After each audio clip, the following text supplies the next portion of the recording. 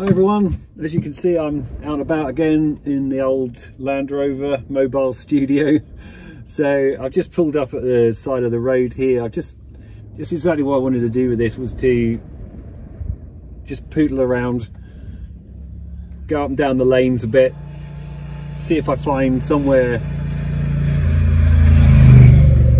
that's exciting to to uh, to stop and do some painting.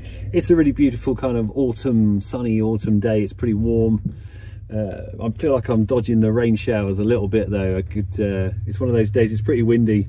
It's one of those autumn days. You kind of feel like it could go either way. It might stay just like this, or it might just turn and start chucking it with rain. So we'll have to see how it goes. But um, it doesn't look too threatening at the moment. I want to try and get some of this uh, movement that's that's out here at the moment. Lovely windy, cloudy skies. So I might try some of that. But as you know from previous videos of mine, I always say, you know, don't don't try and uh, don't try and decide what your paintings are going to end up like before you even started doing them. My intention, I was coming out, I'm looking at the sky and thinking it's pretty exciting. I might go for some of that. But when I start painting, it might turn out different because, you know, like I said, you know, don't want to don't want to decide what the painting's going to look like before I've even made a mark on the paper. You know just let it um, let it happen Before I get going, don't forget if you want to learn how to do this kind of work for yourself, you can still sign up for my next online workshop at the beginning of October. It runs for three weeks and there's loads of tutorials and Q&As. There's a group you can join where you can share your work and I'll be able to see it and I'll give you feedback on every single piece of work that you post. So if you're interested in that, please do check out the link that's here on the screen and I'd love to see you on the course. Okay, let's get on. So I've just got the painting kit with me that I was talking about in a previous video. Uh, if you didn't see that one, I'll put the link up on the uh, top right of the screen so you can click on that and you can you know see me where I was talking about uh, these materials that I bring out with me when I'm painting, keeping it nice and simple. So that's literally all I've got with me. So if you want to watch that video, click on the link that's just popping up on the screen there. Keeping it nice and simple, I find that's the best way of doing it. I don't have to think about the materials that I'm bringing out. I don't have to make lots of decisions about what kind of painting I'm going to do because I'm just going to use the same materials I always use. Um, I just find that it helps me to be more creative, more um, thoughtful about while I'm here. I don't have to because I'm not uh, umming and ahhing about uh, you know should I bring this, should I bring that oh well if I better take all this kit just in case just in case I see something and I haven't got quite the right thing. I don't worry about any of that. I just bring this nice basic kit with me and make the best of what I've got. Make it work. That's that's that's really you know make this kit work. Now I'm standing here looking out. What I was talking about talking about the uh, the movement and the sky. It's kind of all there. Uh, so that's certainly where I'm going to start with the painting and I'll see where it goes after that. So I just think this lovely autumn windy sky is just the kind of thing that I want to try and get in the painting today. So I'll give that a go, see where it takes me.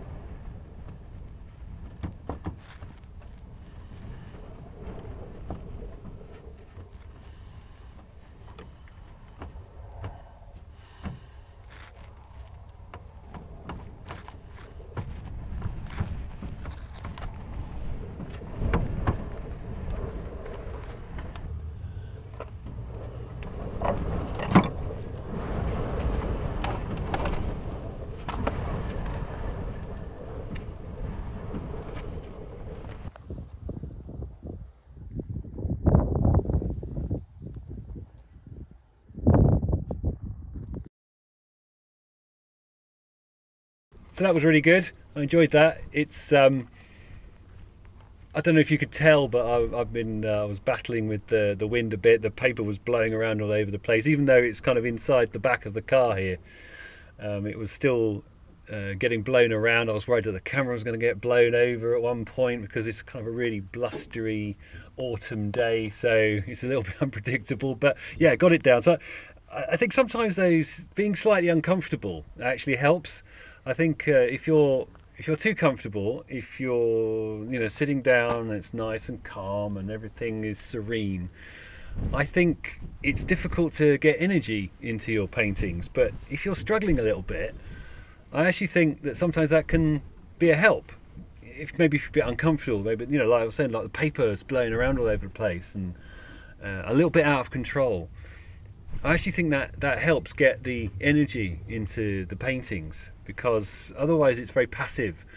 Uh, and I don't want that kind of passive nature of my paintings because you know look at it out here. It's uh, it's very exciting. Everything's moving and that's what I want to get into the painting. So um, yeah I think being slightly out of control sometimes maybe you're a little bit uncomfortable and not um, finding everything that easy. You know things are being blown about all over the place. But I think sometimes that can be a big help. Anyway, I hope you enjoy that. As I said earlier, there's still time to sign up for my next online workshop, doing loads of this kind of work and all the kind of collage work that you see me doing in the studio.